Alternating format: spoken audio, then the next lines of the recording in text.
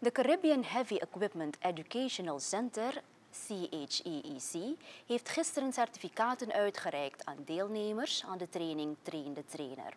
De cursisten zijn allemaal veiligheidsinstructeurs in hun bedrijf.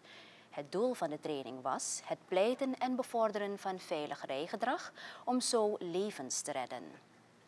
Raymond Taujuram is de directeur van Chic. Tauiram zei dat vrijwel alle sprekers hadden aangegeven dat de boodschap zodanig overgedragen moet worden dat er inderdaad levens worden bespaard in het verkeer. Niemand wil een dierbare verliezen in het verkeer. En een van de dingen als instructeur of als deelnemer, als defensive driver, is geduld. Betekent Biswama osuku borop sayur. Het moet ik revenge. Nee, het is een kwestie van je wil gaan, ga je gang maar. Kost je maar één seconde of twee seconden om die man even door te laten rijden.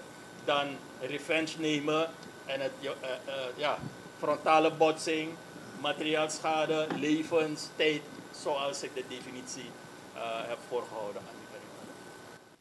Helmut Geesius, voorzitter van het Korps Verkeersvrijwilligers, zei dat de uitspraak van een van de trainers hem is bijgebleven, namelijk je moet veilig vertrekken en veilig aankomen.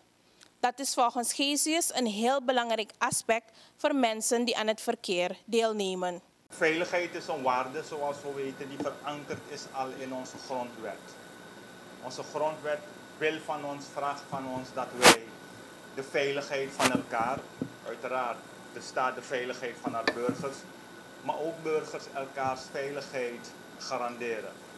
En wanneer mevrouw Angenique, zeg ik voor uh, het gemak, zegt veilig vertrekken en veilig aankomen, dan refereert ze aan iets nog belangrijkers. Want waarom zouden we veilig moeten vertrekken om weer veilig aan te komen?